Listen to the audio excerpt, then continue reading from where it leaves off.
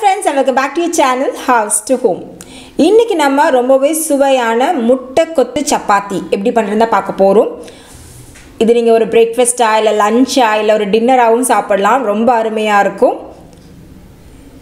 So வாங்க வீடியோக்கு போய் இந்த ரெசிபி எப்படி பண்ணுறதுன்னு பார்த்துடலாம். ஸோ இன்றைக்கி நான் பார்த்தீங்கன்னா ஒரு ஆறுலேருந்து ஏழு மீடியம் சைஸாக இருக்கிற சப்பாத்தி தான் எடுத்துருக்கிறேன். இது எல்லாமே லெஃப்ட் ஓவர் சப்பாத்தி தான். முதல்ல இதை ரோல் பண்ணிவிட்டு சின்ன சின்ன பீசஸாக கட் பண்ணிக்கலாம். நீங்கள் பிச்சு கூட போட்டுக்கலாம். அது உங்கள் விருப்பம்.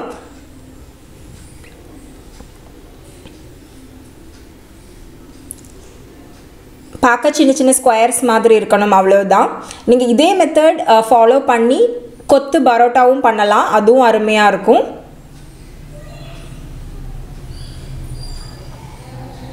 சின்ன சின்ன பீசஸாக கட் பண்ணதுக்கப்புறமா இந்த சப்பாத்தி எல்லாத்தையும் உதுத்து விட்டுக்கலாம்.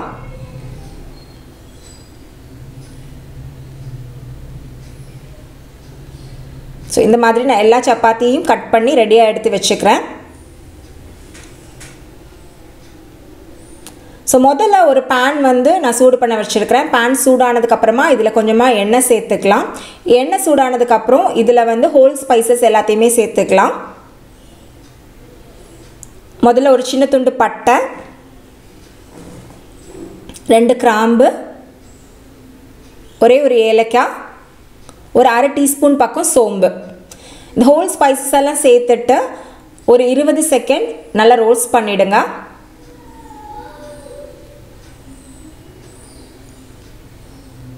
இதெல்லாம் நல்லா பொரிஞ்சதுக்கப்புறமா ஒரு பச்சை மிளகாவை இந்த மாதிரி கட் பண்ணி சேர்த்துக்கிறேன். கூடவே ரெண்டு பெரிய வெங்காயத்தை மீடியம் சைஸ் பெரிய வெங்காயத்தை இந்த மாதிரி கட் பண்ணி நம்ம சேர்த்துக்கலாம். சேர்த்துட்டு நல்லா வதக்கி விட்டுடலாம். ஒரு அளவுக்கு கொஞ்சம் டிரான்ஸ்பேரண்டாக இந்த வெங்காயம் வந்து ப்ரௌன் ஆனால் போதும். கொஞ்சம் க்ரன்ச்சியாக இருந்தால் தான் நடுவில் நடுவில் கடிக்கிறதுக்கு நல்லாயிருக்கும்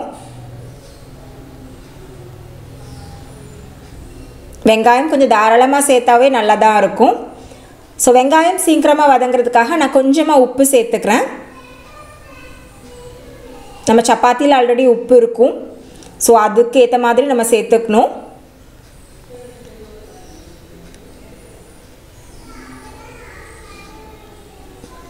ஸோ ஓரளவுக்கு க்ரன்ச்சியாக இருக்கிற மாதிரியே வெங்காயம் கொஞ்சம் டிரான்ஸ்பேரண்டாக டிரான்ஸ்பேரண்ட் ஆகிற வரைக்கும் நம்ம இதை வந்து வதக்கிக்க போகிறோம் ஸோ இவ்வளோ தான் வெங்காயம் நல்லா வதங்கிடுச்சு.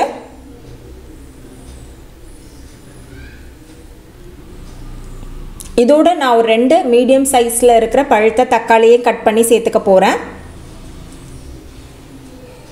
தக்காளி நல்லா சாஃப்ட் ஆகிற வரைக்கும் நம்ம இதை வதக்கணும் மறுபடியும். அது கூடவே வந்து கொஞ்சமாக கறிவேப்பிலையும் நல்லா ஃபைனாக சாப் பண்ண மல்லி இலைகளையும் சேர்த்துக்கிறேன்.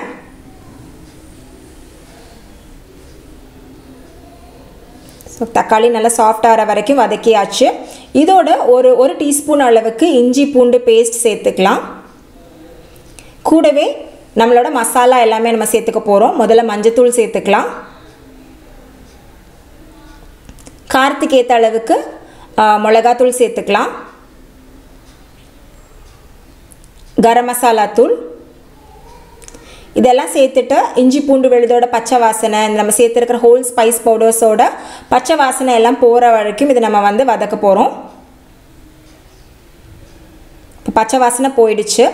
இப்போ நான் கொஞ்சமாக வெஜிடபிள் குருமா இருந்தது அதை சேர்த்துக்க போகிறேன் யூஸ்வலாக கடைகள்லாம் பார்த்தீங்கன்னா வந்து கொத்து பரோட்டா பண்ணுறப்ப வந்து சால்னா சிக்கன் சால்னா குருமாலாம் இருந்தால் சேர்ப்பாங்க. அது உங்கள் டேஸ்ட்டை இன்னும் என்ஹான்ஸ் பண்ணி கொடுக்கும். ஸோ இது ஆப்ஷனல் தான் பட் இதை சேர்த்தீங்க அப்படின்னா நம்மளோட கொத்து பரோட்டாவாக இருந்தாலும் சரி கொத்து சப்பாத்தியாக இருந்தாலும் சரி நல்ல மாய்ஸ்டாக இருக்கும் ட்ரை ஆகாது. ஸோ கொஞ்சமாக வெஜிடபிள் குருமா நான் சேர்த்துக்கிறேன். நீங்கள் வெஜிடபிள் குருமா சிக்கன் குழம்பு சிக்கன் சால்னா அப்படி என்ன இருந்தாலும் சேர்த்துக்கலாம். சேர்த்துட்டு ஒரு ஒரு நிமிஷம் இதை நான் வந்து ஹீட் பண்ணிக்கிறேன். கொஞ்சமாக ட்ரை ஆகிட்ட ட்ரை ஆகிற வரைக்கும் லைட்டாக வந்து வதக்கி விட்டுடுறேன்.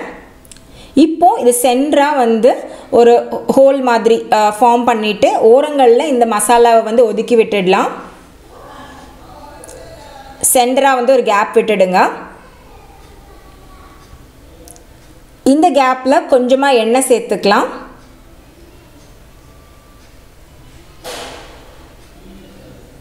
ஒரு மூணு முட்டையை நான் வந்து உடச்சி ஊற்றிக்க போகிறேன் ஒரு ஆறுலேருந்து ஏழு சப்பாத்திக்கு மூணு முட்டைங்கிறது தாராளமாக கரெக்டாக இருக்கும். இல்லை உங்களுக்கு அதிகமாக வேணும் அப்படின்னா நாலு முட்டை வரைக்கும் நீங்கள் தாராளமாக சேர்க்கலாம். ஒரு ஒரு நிமிஷம் வெயிட் பண்ணுங்க. இந்த முட்டைக்கு தேவையான உப்பையும் நான் சேர்த்துக்க போகிறேன் கூடவே கொஞ்சமாக பெப்பரும் சேர்த்துக்க போகிறேன்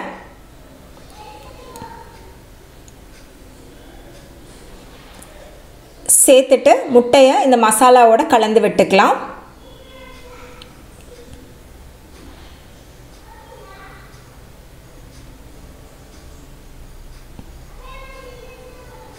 நல்லா கிளறி விடுங்க. நம்ம ஸ்க்ராம்பிள் எக் பண்ணுவோம்ல அந்த மாதிரி தான்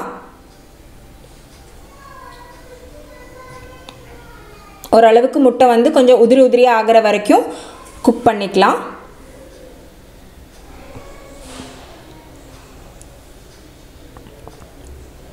உப்பு மட்டும் கொஞ்சம் பார்த்து பக்குவமாக சேர்த்துக்கோங்க. ஏன்னா சப்பாத்தியில் உப்பு இருக்கும். நம்ம வந்து சேர்த்துருக்கிற வெஜிடபிள் குருமாவில் உப்பு இருந்தது. ஸோ அதுக்கேற்ற தக்கன நீங்கள் சேர்த்துக்கணும். ஸோ இந்த மாதிரி கொஞ்சம் ட்ரை ஆனதுக்கப்புறமா நம்ம கட் பண்ணி வச்சுருந்து சப்பாத்தி பீசஸை இதோட சேர்த்துக்கலாம்.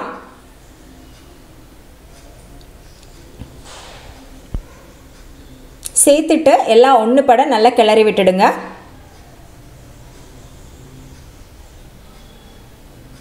இந்த மசாலா முட்டை சப்பாத்தி எல்லாமே வந்து நல்லா கலந்து விட்டுடுங்க. இந்த மாதிரி ரெண்டு கரண்டியால் நீங்கள் வந்து கிண்டுனீங்க அப்படின்னா உங்களுக்கு ரொம்ப ஈஸியாக இருக்கும். எல்லாம் கலந்து விட்டதுக்கு அப்புறமா ஒரு ஒரு நிமிஷம் நம்ம கொத்து பரோட்டா கடையில் கொத்துற மாதிரி சும்மா கொத்தி கொத்தி விடுங்க. ஸோ தட் இந்த மசாலா எல்லாமே சப்பாத்தியில் நல்லா பிடிச்சு வரும்.